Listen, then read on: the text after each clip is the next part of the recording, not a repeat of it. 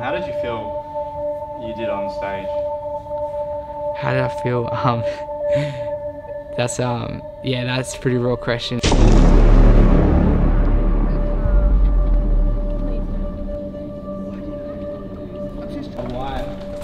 fuck yeah, this snakes coming out of my arms. Look over her, she got more veins than me. Good to see you, man. Good luck to the man. Thank you, bro. Thank you. Yeah, good luck. My name is Jordan Vella. I um, just completed my third contest prep um, for ICN WA. Um, this is Natural Federation. Um, in regards to bodybuilding, um, I competed in classic physique and fitness. Um, I prepped for 23 weeks, so it was a long dieting process to get all the way down to about 6-7% body fat for stage and to obviously hold as much muscle as possible. I'm feeling, I feel like I'm gonna get a low number. We didn't cut that log here. I got, I got my, I got my I was about to scissors. say, how clean's the cut then? It is clean. Handy with the scissors. When you compete for the first time, you have no expectations. Um, you don't really know what the day is going to be like. You don't know what you're going to look like. You don't know how you're going to feel like on the day and feel like afterwards. Um, but when you've competed now three times, um, I had an expectation of what type of package I was going to bring to the stage. Um, I was going to have an expectation on how I was going to carb up, even how I was going to do my peak week, how I was going to feel afterwards. Um, but the one expectation that you never have is who you're going to be up against and how the day is going to pan out.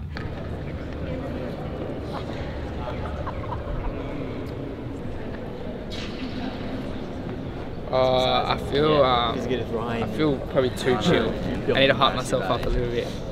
But um, yeah, just basically waiting now till probably around 10, and then that's when we'll start really um, shuttling food in. Um, and then trying to get dry and fill out, pump up. So probably just waiting until then. Um, obviously, I prepped myself, which I was probably one of the only competitors. I think I was probably the only competitor on the day that prep themselves. So support-wise, um, it is very different to a lot of other people. A lot of pe- other people have their main coach um, and stuff like that. But I am very lucky to have a strong support uh, crew around me. Um, my two main supporters was um, my, was my colleague Ryan. This is uh, this is the perfect pump up video.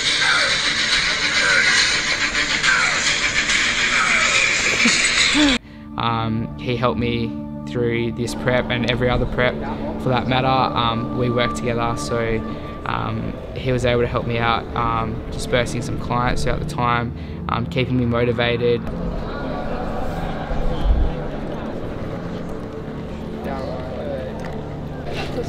This is 100% legal. From City Cool Craig. Wait, bro, that, that tastes fucked. Did you chew it? No? Oh, that's the whole point of it. So it dissolves quicker. It's in about two hours. You feel great. Yeah. yeah, in two hours you feel great. Will it be okay? Yeah, you do. It'll still devol- it'll Yeah, just take longer, just right? dissolves. Yeah, it just might make take a it. little bit longer. Haley was a massive support, especially towards the back end of prep. Um, helped me get up, get get my cardio done, get my steps done, and stuff like that. Um, um, she was she was massive and gave 100% to me in my prep. Wider, closer. The morning, I was very, I was the calmest I've ever been. I had absolutely no nerves. Um, in my first two comps, I had heaps of nerves, but this time I had I had zero. I was um, I was actually almost worried that I was too relaxed, um, and I think the reason I felt like that is because I knew that I gave my best and I was bringing my best package. Um, so I was just calm. I was focused on the boxes I needed to tick in regards to what I needed to do, in regards to food, um, pump up, what time I was on stage, my posing. I was very just focused, um, but I was also very relaxed talking to other competitors um, and just trying to enjoy every single second.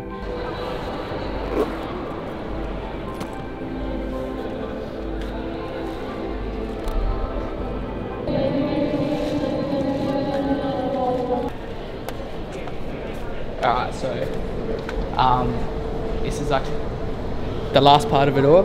Um, pretty much get get glazing on top of two tans, so that's why we're so dark and shiny on stage. But um, get, get, get, get some glazing, obviously that helps with the stage lights as well. Um, helps, helps you shine a little bit more.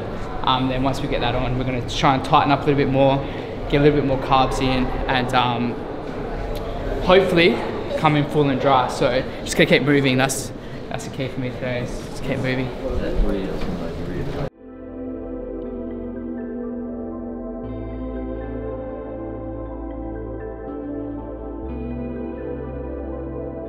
That was. I don't think I looked at anyone. Obviously, I um, have a few had a few friends that I was up against on stage. It's a few good mates. Um, the other few I've seen on social media, and then there's a few that I had no idea about.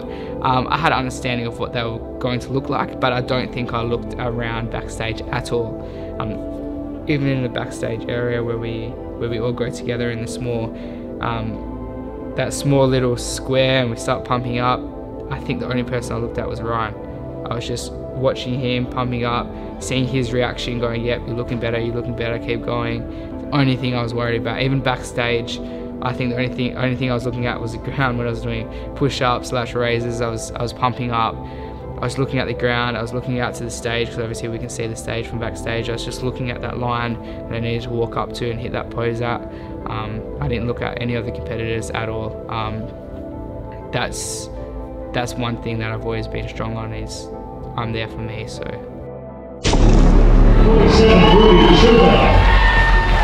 47 Ruby Sugar. 70 Kendra Bang.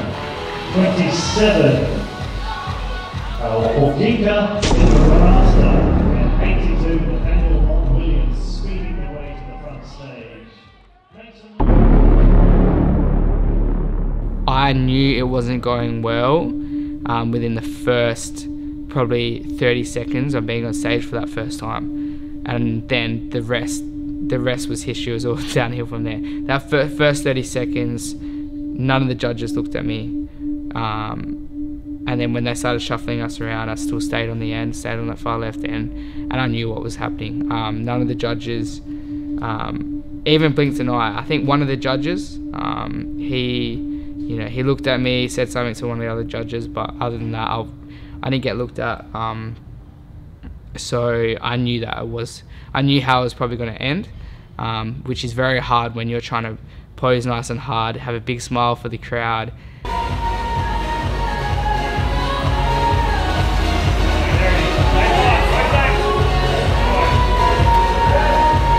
And relax. And either side, the side tricep. um, and act like you're having the greatest time of your life when you know what's going to happen. You know that you're not going to be on that podium. Fifth place, 50, Jordan Vella.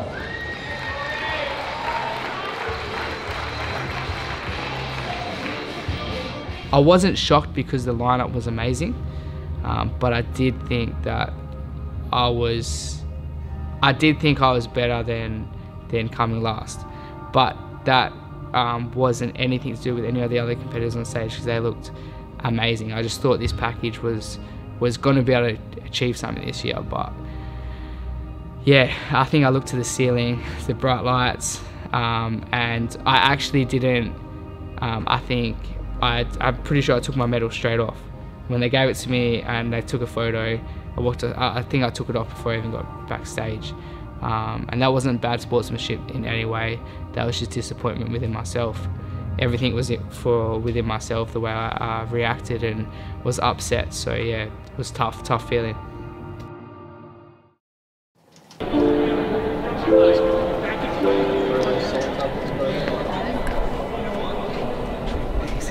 Did you do a live?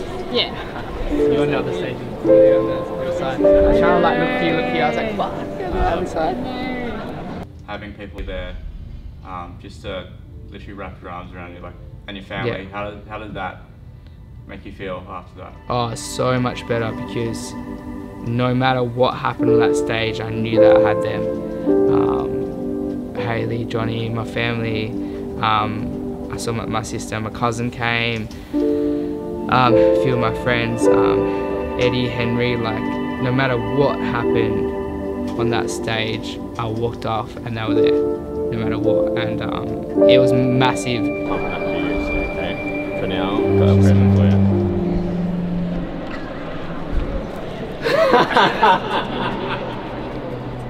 What the fuck? I just I just came fucking first. I don't give a fuck. I just came first. what? How do you keep that a secret though? How the fuck? Did you see it? You were pointing out in the crowd, and I was like, I'm sorry that I did not deliver Oh, for no, you. no, no, you did. Oh, you did well. You oh go. it is what it is. Really Man. It was, proud. tough- it was tough competition. Go. I just, I just, I just tried to play in between the game. You know what I mean? Yeah. Besides game, Stuff. then try competition. You came up with a really good package, to be honest. Just finish the end of the night. We'll, we'll go get a good feed. The sun comes up in the morning. You're still doing what you love. Like that's all that means. Um, means everything to me. So it, it was definitely um, definitely a really good feeling to have them there. I'd be so upset right now. Like, yeah. Well done. Oh man, that was that was easily the toughest. Um, So, next one. Round up. Looking up. Good. Down. Luck.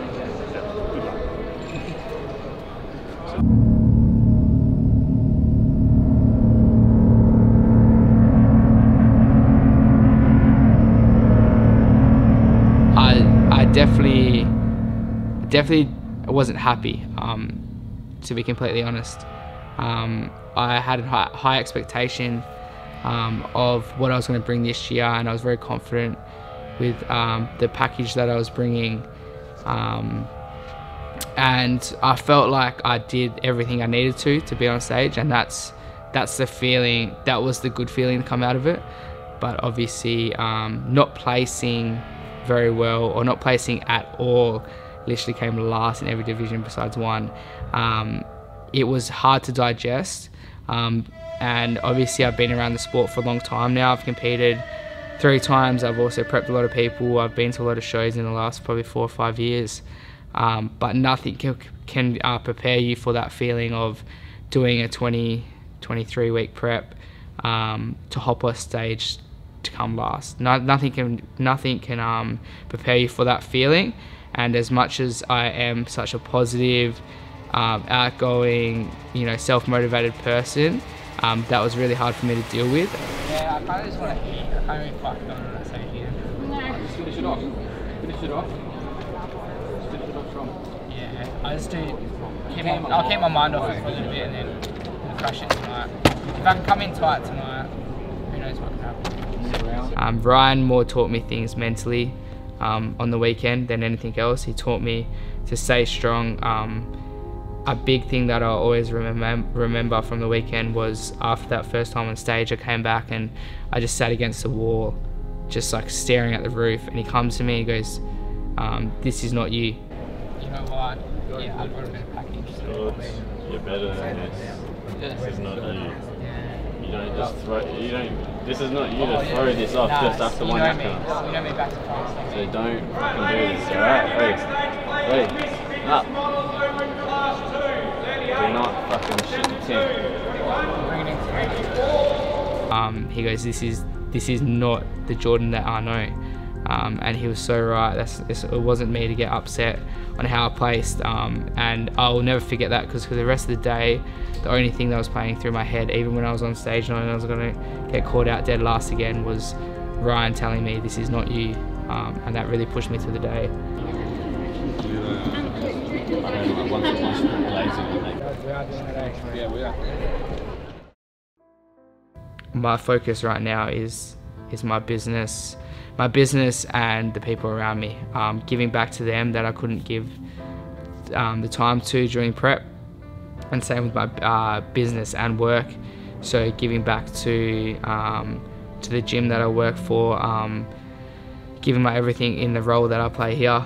Um, getting some more bread items out, um, starting getting back on the social media. That's taken a hit. Um, getting my coaching back up and going. Um, I've had to put some a lot of clients on break, so it's the focus is getting back all that back up and going. Um, that's why I do this. Um, I don't say to anyone that I'm a bodybuilder or I'm a competitor. I'm, I'm someone who wants to impact people through my work. So it's to give that 100%. Um, in regards to competing, who knows? Who knows? Um, that's a question that will probably haunt me for a while, but um, I will take the judges' feedback when I get it later this week. I will reassess what I need to work on, whether that's stepping on stage again or not. I will still be focused on working on those areas. Um, that's just the way I am. I'll keep trying to um, chase that better physique, and uh, whether that's stepping on stage or not, we'll see how we go. Walking back to the elevator after, and you're going home. I know, like you've dealt with quite a bit of like horrible stuff on Instagram, like getting Yeah. messages and stuff like that. Does that maybe kind of come into your head a bit after, um, sort of like second guessing yourself or thinking about what people are going to say now that maybe you didn't do as Yeah, well? Or yeah, yeah. Um, so happy you asked that question. 100%. That's um, it wasn't what I expected. Um, I I received those messages late, late on Saturday night. So this was after I spent some time with my friends, and I got home and I was ready to go to bed, and then I read um, three really like hurtful messages that were quite specific to how I placed on the day and stuff like that. And um, I'm still mentally trying to deal with that now, knowing that there was people out in that crowd that probably um, got satisfaction about seeing me not place, um, and it definitely it definitely hurt me for a day or so. But I'm coming to the terms of of the fact that I gave gave it my all, and um, those comments, you know, they're going to come from insecurities from these people that probably can't do what I just did. Um, so I'm going to get mentally stronger from it. Um, I'm kind of glad that I went through that now. Um, I'm very lucky to deal with a lot of support but I've never really dealt with a lot of uh, negative comments and haters. So this is a learning curve for me going forward. It's only probably going to get worse as time goes on, but that means that I'm probably making a better, better impact in the world. The more haters I got, probably the better, better impact that I'm giving. So yeah, it was tough to deal with. Um, it was tough to know that some people were probably enjoying the fact that I didn't place, um, and relishing off that and that, that that will make it tough next time if I do step on stage. I'm probably going to have them play in the back of my mind, but um, I can also use use it to fuel the fire as well. So what's the biggest thing you've learned about this whole experience? What's what's something that you've taken away that makes you a better person or a stronger person in this, in this thing? What The biggest thing is that um, happiness and fulfillment is not necessarily in any place or at any time. It's something that needs to be um, built on um, forever. It's the fulfillment um, of get of finishing a stepping off stage is never what you expect it to be. You expect that um, your happiness and fulfillment is all down to that one day, but in fact, it's something that's built up over a period of time. You get happiness and fulfillment from all the work that you've put in um, to continually to impact people. That's where my happiness and fulfillment is. It isn't um, winning titles or being the best. Um, so one thing I've learned is that it's um, you're gonna have uh, you're gonna have rises and um, dips in in how you're feeling, but your happiness and fulfillment comes from a much larger um, a much larger thing than one specific time. Awesome. All right. I think we'll, we should be Killer. good with that. I reckon. I reckon that's good, man. You asked some good questions. Let me just quickly take a photo. That's gonna be fucking so hard to edit. I don't know how you do this. Ah. like trying to like.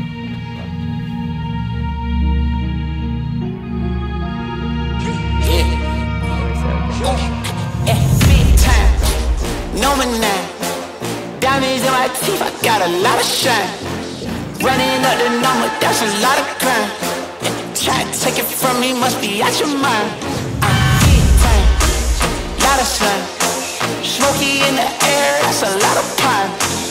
Pockets running over with the dollar sign. Try to take it from me,